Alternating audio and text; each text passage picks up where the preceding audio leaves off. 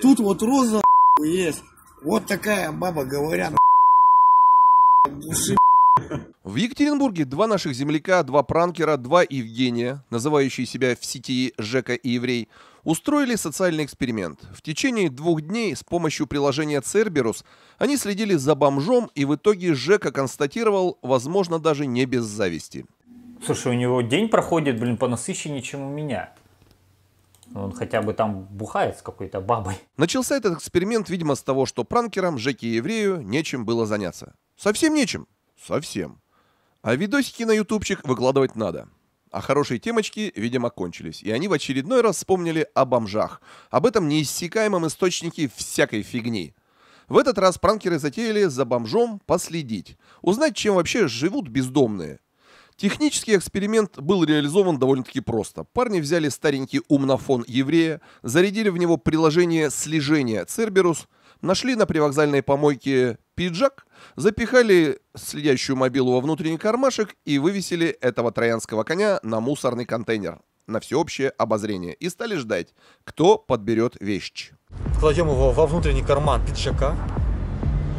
Да, у него батарея хоть и 4000, но Cerberus сожрет ее за сутки точно. Так что если никто не поднимет смартфон, он просто разрядится, а утром его уже увезут на помойку, и мы его больше не найдем. Все, нормально. Все, пошли? Ждем. Cerberus сделал фото. Что это такое? Может, телефон кто-то убрал в красный пакет, то ли закрыл пальцем, то ли что. Это классно. Главное, что телефон заработал. Это офигенно. Следить в компьютере за передвижениями бомжа, хотя по факту, конечно, телефона с Церберусом, выпала честь Жеке. Парни рассчитывали проводить эксперимент в течение суток, но забава растянулась на два дня. И это были, наверное, самые скучные 48 часов в жизни Жеки, ибо следить за перемещениями красного значка на экране и слушать бомжовские разговоры на 99% вообще ни разу не интересные, это довольно-таки грустно. Но такова работа пранкеров. Впрочем, иногда, очень редко, Церберус записывал любопытные фразы и заснял даже лицо бомжа, а телефончик подобрал действительно бомж.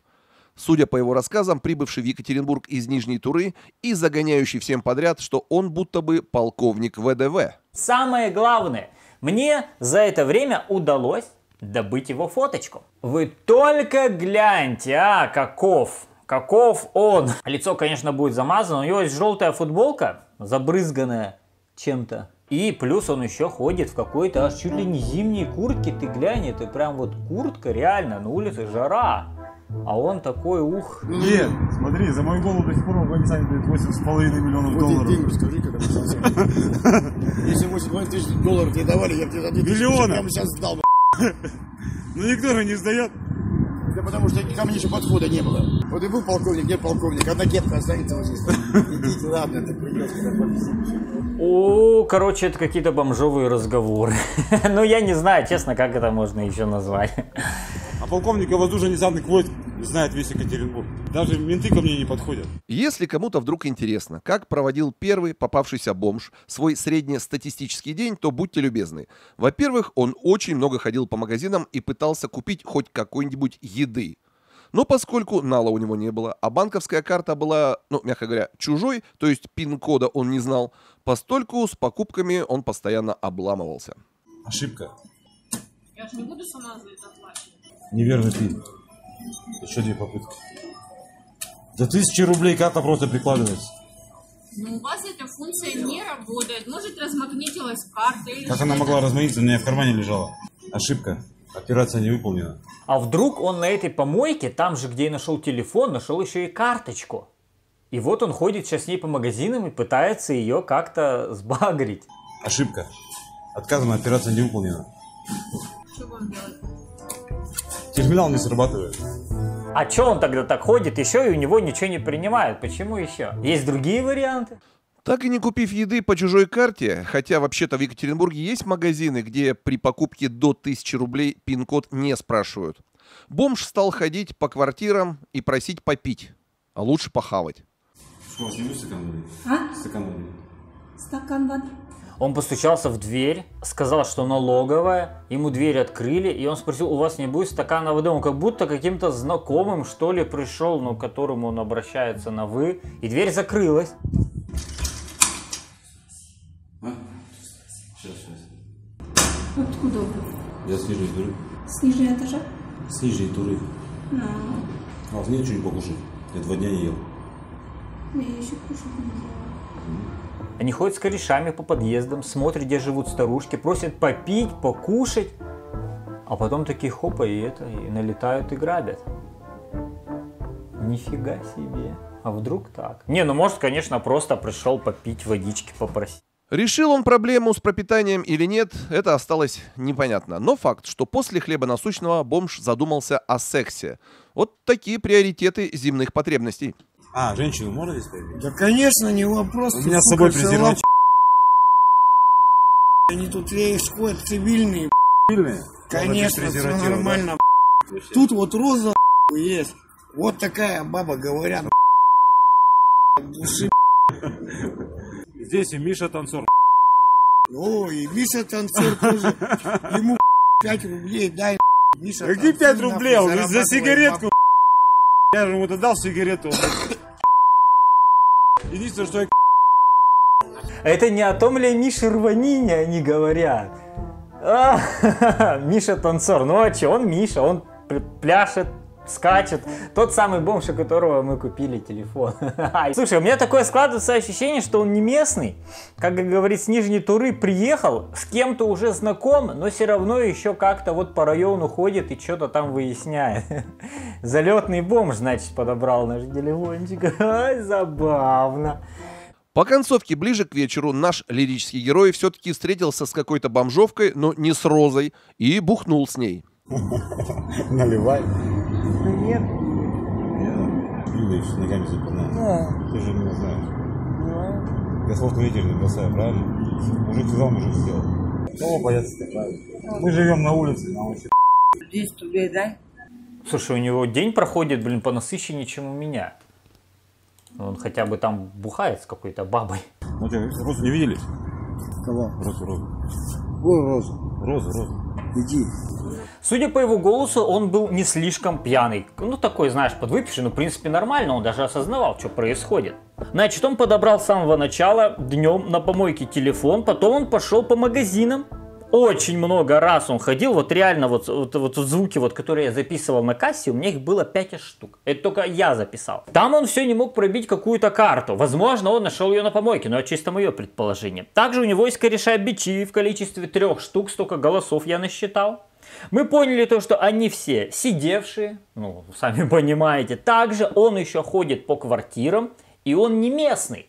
И он даже узнавал за какую-то бабу Розу, которой можно, ну, которая цивильная.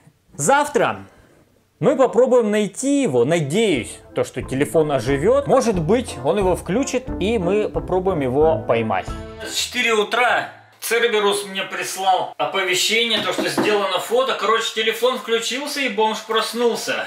Я сейчас попробую запустить отслеживание. Ну, в принципе, вот он где-то в этом районе находится. Еще он там не спит в 4 утра. Он еще в районе вокзала ошивается. Как бы он куда бы это не поехал. Сейчас что будет, я все равно спать потом пойду. Типа нафиг надо за бомжом, блин, в 4 утра следить.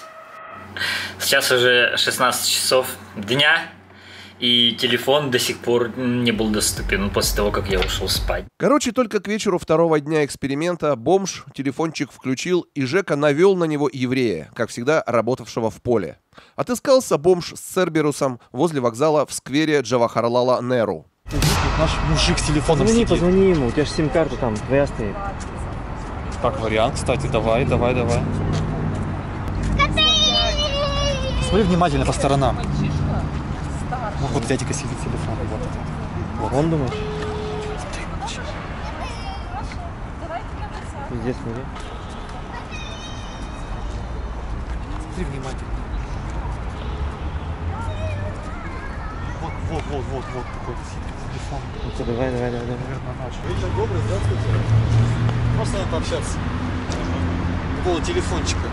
Дело в том, что телефончик, можно вас узнать? Телефончик вы находили вчера на мусорке, в пиджаке, во дворе, в кармане?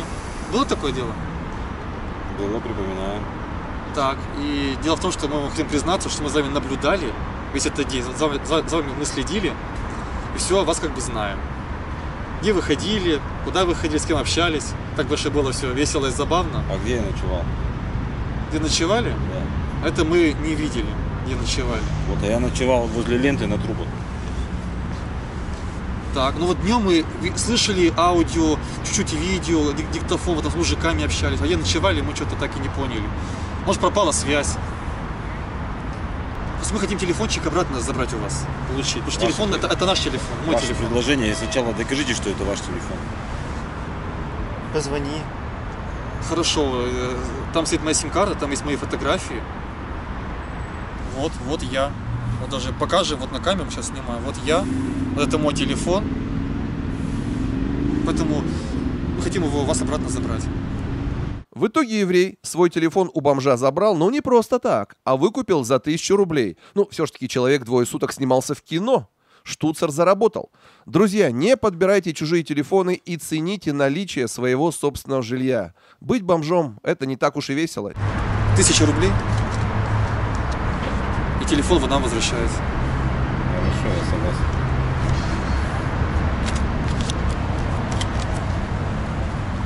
Ну все, спасибо большое. Вы телефон вернули, смотри. Слушай, даже это стало интересно, а что это за мужик такой странный? Не попадайтесь вообще ни в коем случае, вот прям вот, ну ни разу, никогда. А если телефон найдете, ух, не дай бог, там